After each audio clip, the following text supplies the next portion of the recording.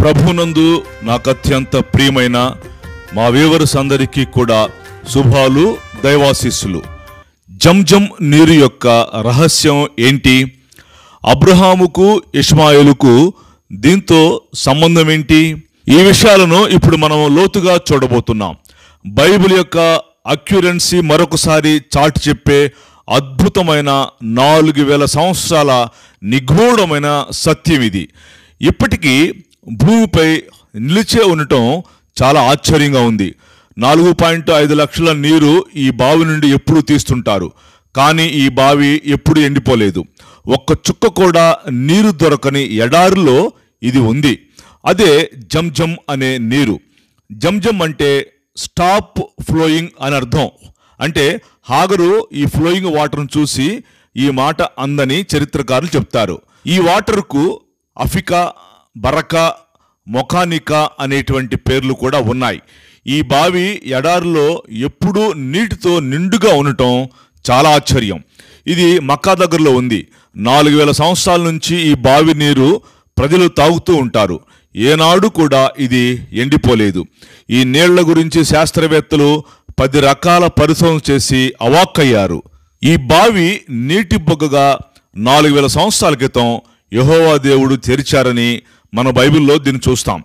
అబ్రహాము తన భార్య హాగర్ను ఇష్మాయిల్ను తీసుకుని వెళ్ళి ఎడారిలో వదిలేసి వచ్చినప్పుడు ఇష్మాయిల్ దాహంతో చనిపోయే పరిస్థితులలో హాగరు మొరపెట్టగా తెరిచిన నీటి బొగ్గే ఇది. ఇస్లాం సోదరులు వారి ఖురాన్ ప్రకారము వేల సంవత్సరాల క్రితం బైగంబర్ ఇబ్రహీము మరియు తన భార్య హజ్రా వారి తనయుడు హజరత్ ఇష్మాయిలు కథగా దీన్ని చెప్తూ ఉంటారు.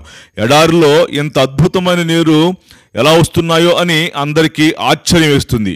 ఈ జంజం నీరు బావిలోకి దగ్గరలో ఉన్న కొండ ప్రాంతాల నుంచి వస్తున్నాయేమో అని అనుకున్నారు. ఇస్మాయిలు పాదాలు ఇక్కడ మోపాడు కాబట్టి నీరు వస్తుందని ఇస్లాం సోదరులు భావిస్తుంటారు. ఈ విషయాన్ని అర్థం చేసుకోవటానికి ప్రపంచంలో చాలామంది శాస్త్రవేత్తలు బాగా దీనిపై పరిశోధన చేశారు. అయితే వీరిలో జపాన్ శాస్త్రవేత్త మసారు యమటో అనే శాస్త్రవేత్తల చెప్పిన రిపోర్టు అందరినీ ఆశ్చర్యపరిచింది. ఈయన ప్రపంచంలో చాలా నీటిపై పరిశోధన చేశారు.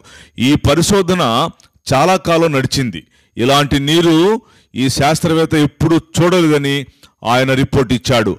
ఈయన చెప్పింది ఏంటంటే జంజము నీటి కణాలను మైక్రోస్కోప్లో చూడటం కూడా కుదరదు. ఈ నీటిని పరిశోధన చేయాలంటే లేక ఈ నీరు ఎంత శక్తివంతమైనవి అని మనం తెలుసుకోవాలంటే ఈ నీళ్ళను చూడడానికి క్రిస్టల్ చేయడానికి ఒక చుక్క జంజం నీటికి వెయ్యి చుక్కల సాధారణ నీటిని కలపాలి. అప్పుడు కానీ జంజం నీటి కణాలని మైక్రోస్కోప్లో చూడలేం అని చెప్పాడు. ఈ జపాన్ శాస్త్రవేత్త ఏం నిర్ధారించారంటే ఒక్క జంజం నీటి కప్పును వెయ్యి కప్పుల నీటితో కలిపితే ఆ వెయ్యి కప్పుల నీటికి కూడా జంజం నీటి లక్షణాలు వస్తాయని ఆ శాస్త్రవేత్త తేల్చాడు. ఇంకా ఈ నీటిని క్రిస్టల్ చేస్తే అవి చాలా అందంగా ఉన్నాయి. ఈ జంజం నీటిలో హాని చేసే కణాలు జీరో పర్సెంట్ కూడా లేవు. సాధారణ బావులలో లేక వాటర్లో పాకుడు పడుతూ ఉంటుంది. కానీ ఈ జంజం నీటిలో నాలుగు వేల సంవత్సరాల నుంచి ఏ పాకుడు ఏ వ్యర్థ పదార్థాలు ఏమీ రాలేదు పట్టలేదు. ఈ నీరు ఆకలి ఉన్నవారు తాగితే ఆకలి తీరుతుంది. రోగులు తాగితే ఇది ఒక ఔషధంగా ఉంటుంది. పంతొమ్మిది డెబ్బై ఒకటిలో ఐగుప్తు శాస్త్రవేత్త ఈ నీరు మంచిది కాదని చెప్పేసి ప్రకటించాడు. సౌదీ రాజు అప్పుడు శాస్త్రవేత్తలను కొంతమందిని పోగు చేసి ప్రయోగం చేయమని చెప్పాడు. ఆ నీరు ఎక్కడి నుంచి ఉబుకుతుందో గమనించడానికి దానిలోకి మనుషులను కూడా దింపించాడు. ఆ తర్వాత నీరు అంతా తోడి నీరు ఎక్కడి నుంచి వస్తుందో పరిశోధన చేశారు. కాళ్ళ క్రింద మరియు అన్ని వైపుల నుంచి డెప్త్లో నుంచి నీరు రావటం గమనించారు. అందుకే ఈ జంజం అనేటువంటి బావి ఎప్పుడూ నీటితో నిండి ఉంటుంది.